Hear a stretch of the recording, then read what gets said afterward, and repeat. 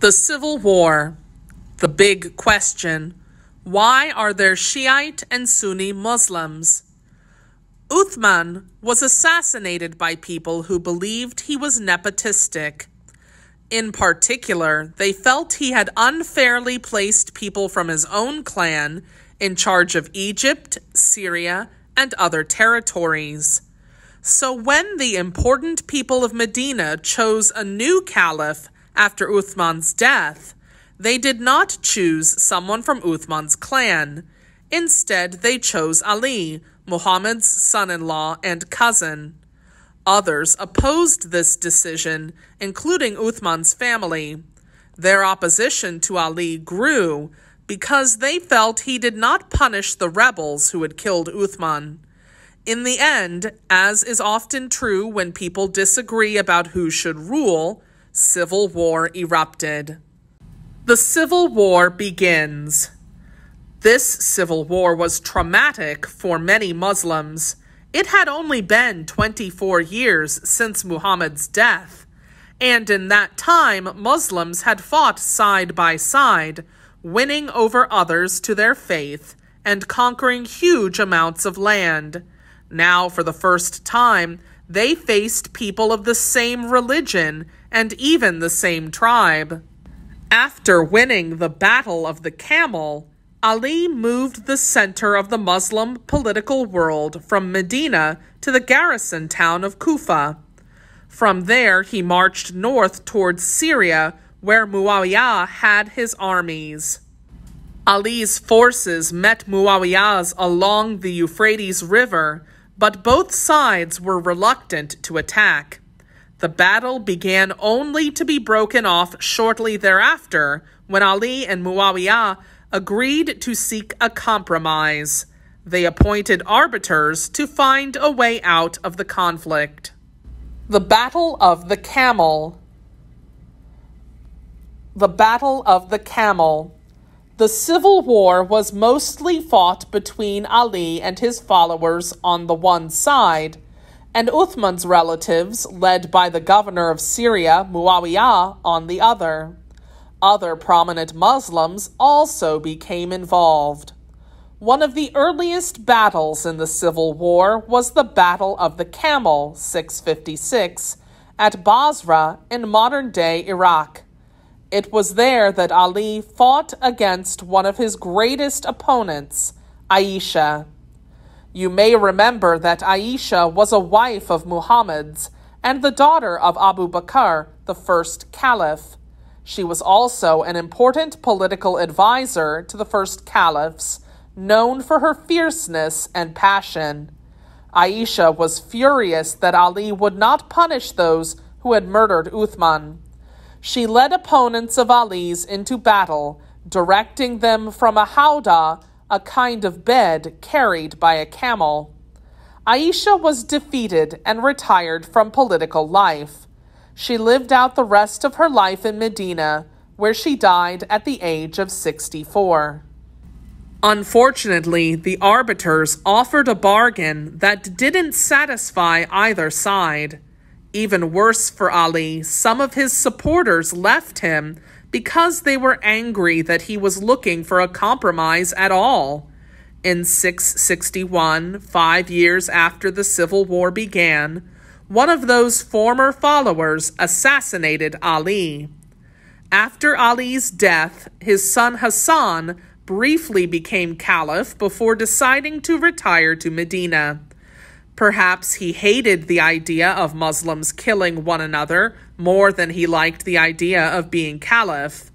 Or maybe he had seen too many caliphs suffer violent deaths. Whatever the reason, Muawiyah, Ali's rival, became the next caliph and the first civil war ended. This war, lasting five years, was very significant for the Muslims. It was the first time that they had opposed one another in battle. It also led to a schism that resounded through the centuries all the way to the present day. The Umayyad dynasty. Muawiyah ruled for 19 years. He was a strong ruler and kept the discontented supporters of Ali at peace. When Muawiyah was dying, he appointed his son Yazid as his successor. This was unusual in early Islamic history. Unlike in medieval Europe, the sons of the first caliphs had not succeeded them. Instead, it was the man considered most likely to lead the Muslims successfully who was chosen. In choosing Yazid, Muawiyah founded a dynasty of the Umayyad clan of the Quraysh. There was immediate opposition to this dynasty. Remember that part of the cause of the civil war had been the belief that Uthman favored his relatives too much. At the same time, many people felt that Muhammad's closest relatives should rule. So the feelings about whether authority should be inherited were complicated. What a cavalry might have looked like in the Battle of the Camel. The Shia and the Sunni. Around 15% of Muslims today are Shias, with most of the remaining being Sunnis. The Sunni are the majority in most Muslim countries, but in Iran and Iraq, the Shia are the majority. Over the centuries, there have been many tensions between the two branches of Islam. The Shiite and Sunni divide emerged in the time of Ali, Muhammad's son in law and cousin. The Shia, short for Shiat Ali or followers of Ali, believe that Ali and his family were the true successors of Muhammad. They trace this all the way back to Muhammad's last sermon. For them, Muhammad was clearly appointing Ali as his successor. The Sunnis disagree with this interpretation of Muhammad's sermon. Instead, they believe that Abu Bakr, Umar, Uthman, and later the Umayyads were Muhammad's rightful successors since they were chosen by the consensus of the Muslim community. The two branches of Islam have several different practices and beliefs, but they both believe in the Quran as Muhammad's revelation. Ali's younger son, Al Hussein, led the opposition to the Umayyads. He refused to accept Yazid as the new caliph, and a new war started. It ended fast because in 680, in the Battle of Karbala, Yazid's army killed al Hussein and his entire family. Al Hussein's supporters called it a massacre and his death martyrdom, and Shiite Muslims still mourn the anniversary. Twelve more years of fighting would follow. By the end, Yazid's successor was triumphant, and the Umayyad dynasty continued to rule. But winning came at a great cost. The unity of Islam was destroyed. Mecca and Medina, both sacred towns, had been attacked in the civil war, and the Shiite supporters of Ali would never forgive the Umayyads for killing al Hussein. Also, the expansion of Islam had slowed almost to a halt. The Muslims had been too busy fighting one another to conquer new territory. Remember, Islam was still very new. It had only been 60 years since Muhammad had died. In that time, the growth of the Islamic Empire had been extraordinary. Many had converted, and old empires had been destroyed. It is easy to forget that, at the same time, the Muslim people were trying to decide who should lead them and why, both in politics and religion. Given the disagreements among the Muslims, it is all that much more remarkable that they were so successful. The combination of their message and their military and political genius was one of the most potent the world had ever seen. An Umayyad Qasr, castle. The Umayyad Caliphate. The Umayyad Caliphate, which ruled the Islamic Empire for almost 100 years, was the first dynastic caliphate of the Muslims. Under it, the empire expanded to its greatest extent, reaching as far as Spain in the west and India in the east. the Umayyads moved the capital of the Islamic Empire to Damascus in Syria. It was an ancient city in a more central location than Medina.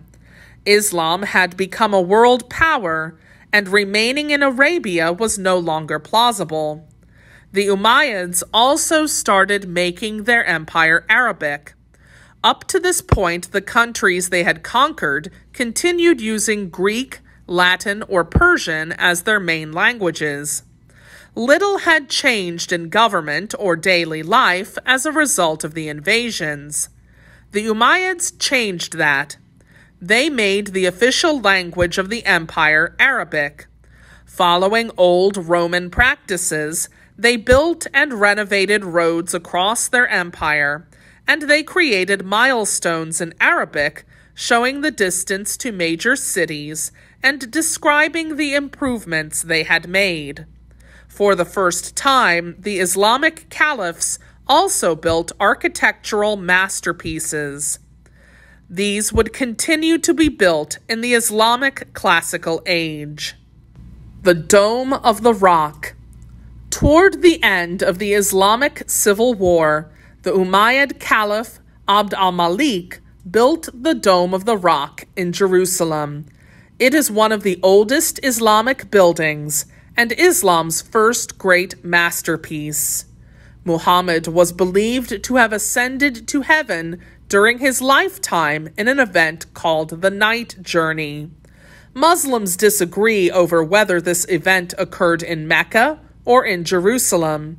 The dome is a shrine that some Muslims in later centuries, and most Muslims today, have identified as marking the location from which Muhammad was believed to have ascended. The dome combines architectural styles from different parts of the Islamic Empire. The structure followed a Byzantine model, but the tiles were brought from Persia. The result was something completely new that changed over the centuries. The Prayer Hall at the Mosque of Cordoba. The Mosque Cathedral of Cordoba. The Mosque of Cordoba later converted into a Catholic cathedral, was built by the Muslims when they conquered Spain. Construction began in 784 CE, and the final modifications were completed 200 years later. The mosque is famous for its 856 pillars that have been compared to rows of palm trees. The pillars are arranged in a series of double arches that were an architectural innovation allowing for high ceilings. A double arch consists of a lower horseshoe arch and an upper semicircular arch. Wedge shaped elements in these arches are colored alternately red or white, giving the interior of the mosque its distinctive appearance. The massive dome is decorated with blue tiles and countless numbers of stars.